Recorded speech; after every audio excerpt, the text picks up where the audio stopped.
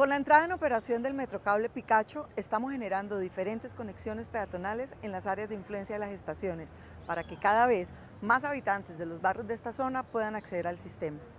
En esta administración ya entregamos el paseo urbano contiguo al Sena de Pedregal y ahora iniciamos esta nueva obra con la que impactamos a más de 15.000 habitantes de los sectores El Progreso 2, Mirador del 12, El Triunfo y hasta París en Bello. El Paseo Urbano de la Carrera 83 es una obra que hace parte del proyecto urbano integral de la zona noroccidental, con el que no solo mejoraremos la conectividad peatonal, sino que generaremos espacio público de calidad con andenes renovados, zonas verdes y jardineras, estancias, juegos infantiles, entre otros espacios. El plazo de ejecución de esta obra es de nueve meses y la inversión supera los 6.800 millones de pesos.